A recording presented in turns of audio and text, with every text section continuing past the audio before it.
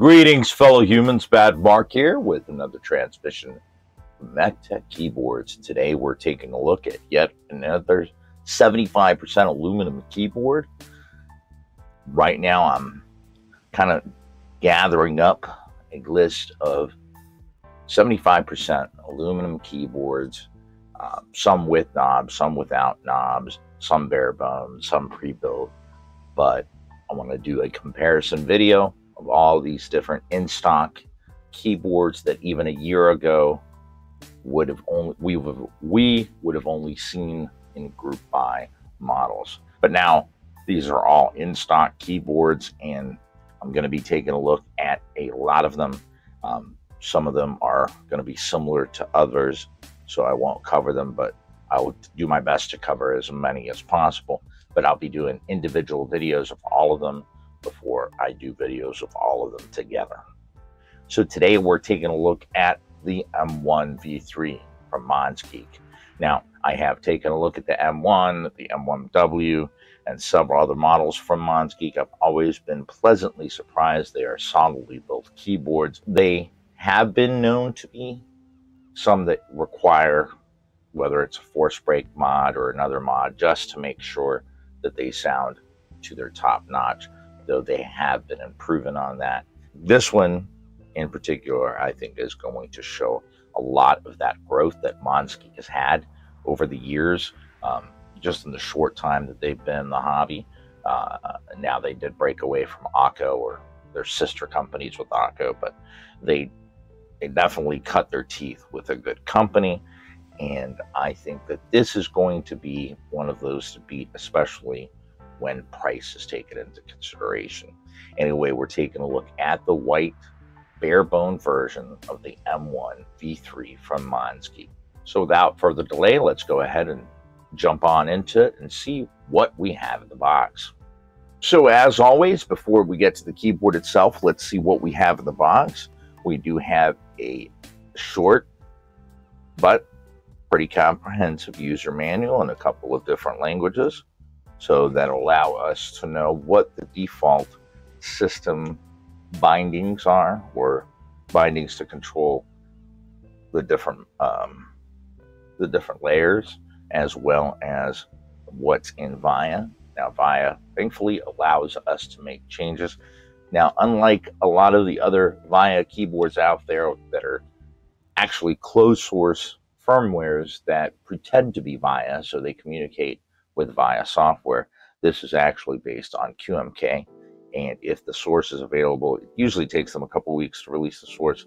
I will put a link down there, uh, down in the description as soon as, as the QMK source is available. Monsgeek, uh, thankfully taking a cue from Akko, ensures to, to include these in their, their keyboards, which is basically a user QA QC card so somebody has actually hand gone through this, ensured that everything works, and ensured that everything that needs to be included is included in the box. In the accessories box, we do have a quite a few number of items. We have a nice rubberized USB-A to USB-C cable with metal ends and really nice tension relief. Um, I've actually been very fond of Akko cables and Monsgeek cables as they're just, uh, they're well made. No need for an aviator connector, just a nice coil in there. And um, I have yet to have one get quirky because of a loose um, connector. So I do like these and I think they're well made.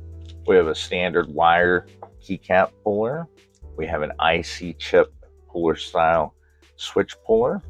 We have some extra gaskets for the plate in case we want to replace a lost one or add more to it if there is tabs that don't currently have some on there.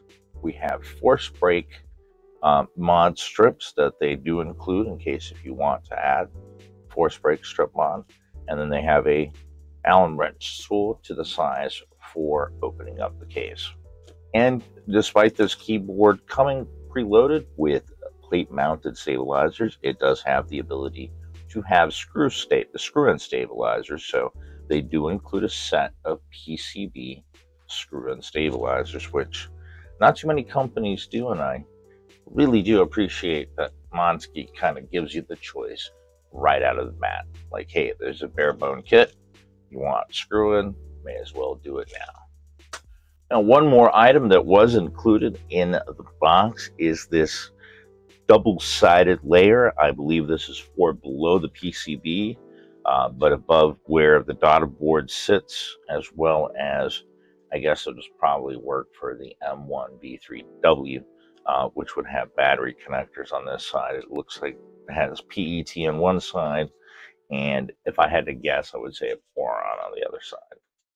And here we are with the Monsgeek M1 version 3 or revision 3. Uh, thankfully, like other Monsgeek and Akko keyboards, they include a keyboard cover, which I am very thankful for. I know it's a simple little thing, but the longer that you use this when you're not using the keyboard, the longer the, your keyboard is likely to last. One more thing that you can use and have in your arsenal to make sure that your keyboard lasts as long as it possibly can.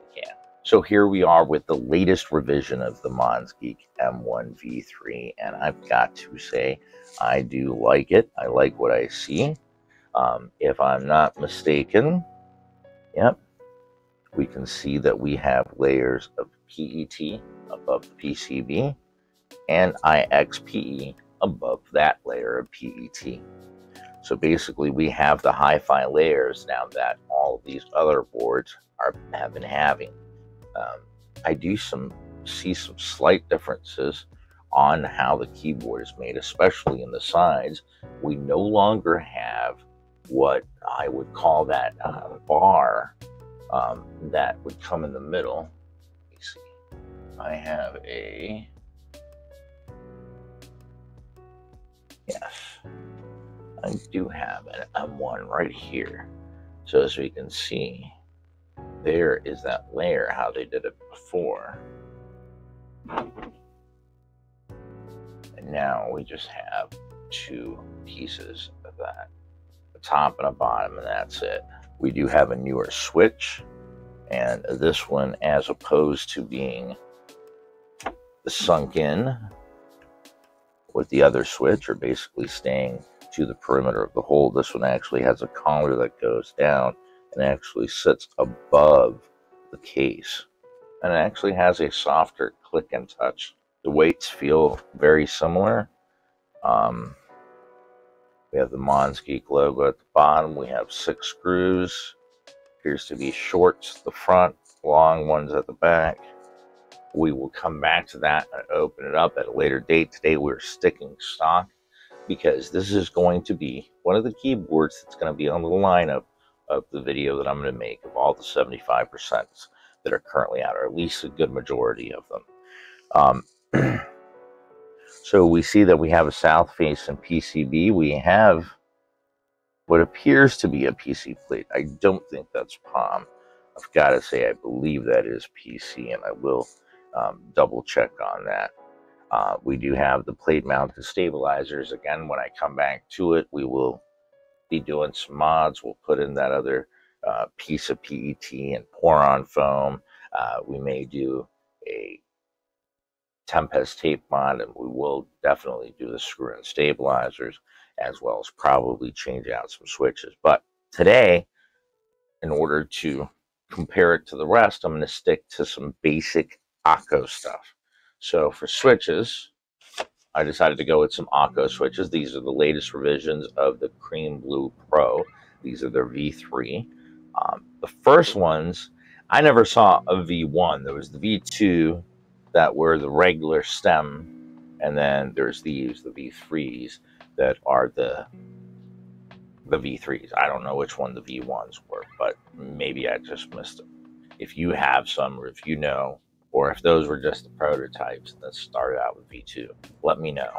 Anyway, we will be loading these up with the Akko V3 Pro switches, which are pretty good switches out of the box a little bit that I've played with them. And we'll be topping them off with Akko PBT silent keycaps. Uh, they're basically, uh, I guess you could call them like a Dolch, modern Dolch perhaps. Um, but their highlight keycaps are a lighter blue. Um, I think this is a anything that has that retro beige gray look is just right up my alley. But I thought that this cherry keycap set would do good to just act as a stock keycap set if they were preloaded, as they usually use Akko keycaps, being that they're sister companies. They're in the family, let's just say. So uh, with those Akko Silent, there's also some nice pink highlight keys. Maybe we'll use a few of those. So right now, I'm just going to go ahead and load these up so that we get to the next part. Just some quick specs and thoughts on the Akko V3 Pro Cream Blue. It is a tactile switch. It has an operating force of 45 grams with a tactile force of 55 grams, plus or minus 10 grams of force. It has a total travel of 3.3 millimeters and has a tactile position that starts at 0.10 of a millimeter down into the travel. It has a very pronounced bump and it does not feel heavy, though it definitely can be felt. The switch does sound like it is pre-lubed. It is 5 pin and has four leg tops, not wing latch. For the price, which usually runs between $12 and $15 for a box of 45 switches, it is a decent tactile switch. The top, despite being semi-translucent blue, does not affect SMD RGB lights coming from below.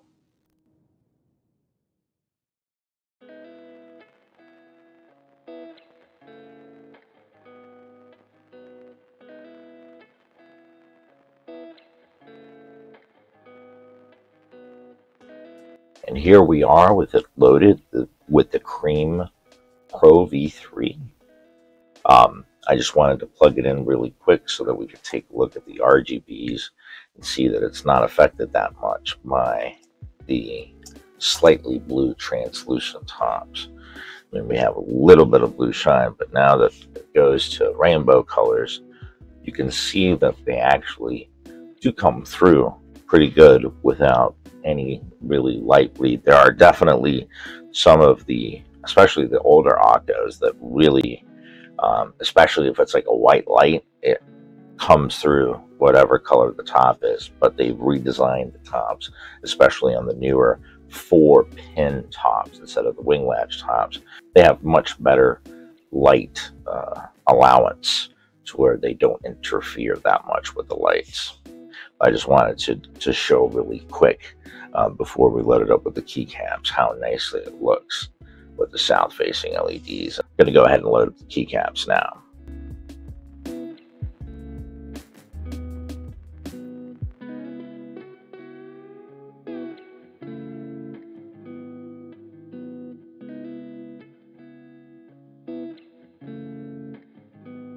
So here we are with the Monsgeek M1 V3 fully assembled. Of course, like I said, I got this bare bone but we added what you usually get through either Akko or Monsgeek shop.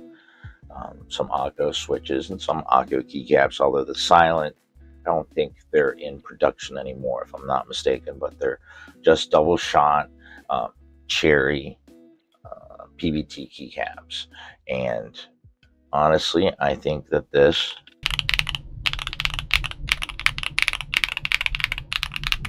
in its stock form compares to all the other 75% that are coming out.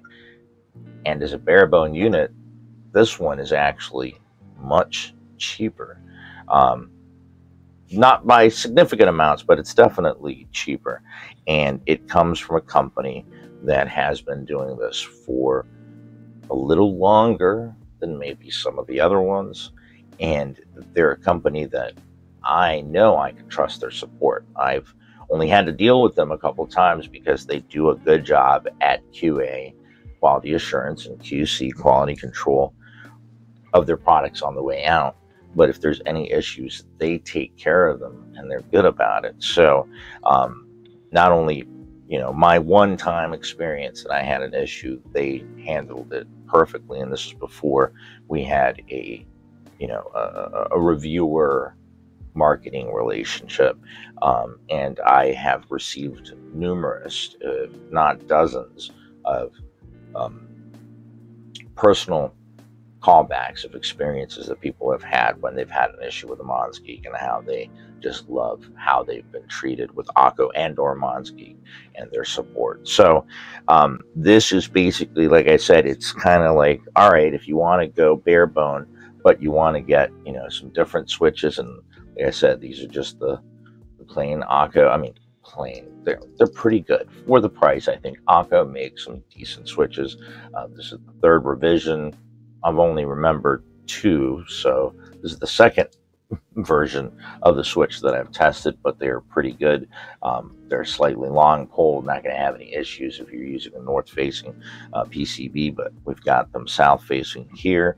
Um, these are stock as they come. The keyboard is stock without the extras that are included. Like I said, I'm going to keep it that way for right now until I get to compare it to the other 75% keyboards.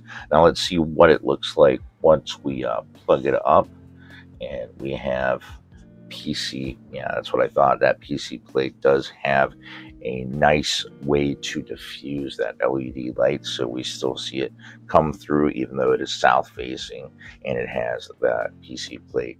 We have that gasket mounting style so it's nice and it's not super flexy. It's not something that, hey, I feel like I'm on a bouncing on a tra- trampoline. No, it's it's got just enough flex to where you don't feel like you're typing on a concrete surface.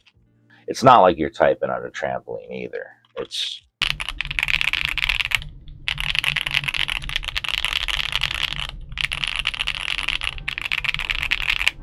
and it, it just sounds great. And this is stock. Like I said, we can still apply the force break, we can still apply Tempest, and I will be applying those mods and others. If you have any suggestions, uh, please put them down below. Just the specs. Today we are taking a look at the Monsgeek M1 V3. This is the bare-boned, wired 75% QMK VIA keyboard from Monsgeek. It is a gasket mounted PC plate and has an aluminum 6063 CNC body. It has a 1.2 millimeter south facing 3 and 5 pin hot swap compatible PCB with hi fi layers, meaning PET layer above PCB with an IXPE layer above that. It comes pre installed with plate mounted stabilizers, but also includes PCB screw-in stabilizers. It has QMK firmware and can be configured through the VIA firmware interface. It is currently available in white, black, and pink colorways, though they have announced that more colors are coming soon.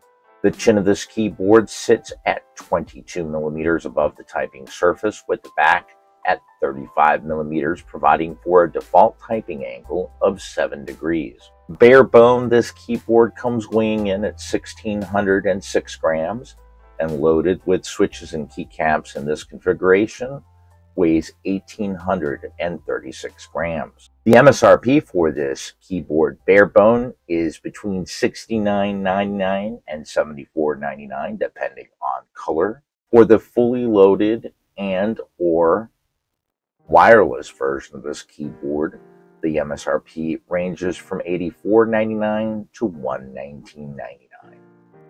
All of this is available from Monsgeek.com. Links below.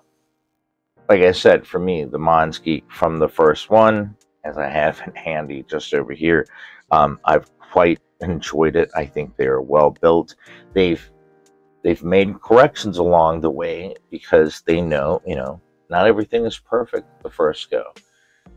Being someone who's written software for over 30 years, I mean, version one is never the best version. Um, it usually takes a good three to four versions as you get the hang of it for you to actually start putting out refined products. So they are going with that iterative process of, you know, fixing the little things, focusing on, you know, certain things, and they're getting better and better.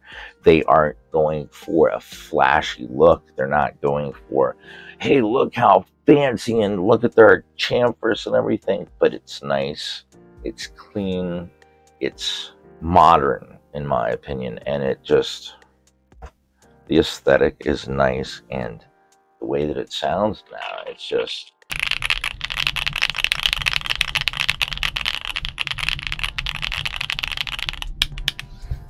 I think that they've definitely hit the mark. They've also they're adopting to the market price and they've brought the price of this down and it just continues uh, to get better. And I give Monsgeek mad props. I hate to use that. I'm I, I like to recognize them for doing a great job with their keyboards, delivering a good product that is reliable and that it's affordable. And I mean, it's not something that's going to break the bank, but you're going to get something that you know that it works and it works well. And it also has QMK and VIA. I mean, unless it's the wireless version, although I do believe they are working on an M1W VIA version, and I will be reviewing that one as well. Um, so that should be interesting. But I've got to say, I'm I've been pleased with their keyboards. I'm actually I still have to review the MG series because I know they have a full size and a 75%, no LEDs, and it uses their Monsgeek Cloud driver, but they're quite well priced. So I, I do have to take a look at those. But as far as what they're doing with the aluminum keyboards, in my opinion, it is just a great job, a great price. They are asking a fair value. Sometimes I'm almost like, are you undercutting yourself? And I mean, QMK VIA an aluminum keyboard this nice, bare bone for $69 for the white, $74.99 or $75 for the black and or the purple. And I do believe that they have some more colors even coming up soon. So um, this one is probably going to rank pretty high on that tier list that I'm going to be working on soon. If you have any questions specifically about this keyboard, let me know down in the comment sections below. If there's anything that you'd like for me to take a look at or address or compare to when I do my 75% off keyboards, um, so that I can compare, you know, apples to apples, please let me know and I'll do my best to add it to that so that that can be covered. Um, if you have any questions, any comments, always, I do my best to answer or at least annotate every comment um, and question that's asked of me. I do hope that you enjoyed this video. A thumbs up if you did, thumbs down if you didn't, but please let me know what I could do to earn that thumbs up.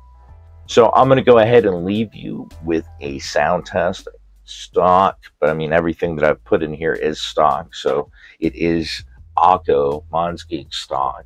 So I'm going to leave you with a stock sound test of the Monsgeek M1 V3 with the Akko Cream Blue Pro V3s, um, as well as the Akko Cherry double shot PBT silent keycap set. I want to wish you an awesome day, and until the next transmission, keep calm and keyboard on.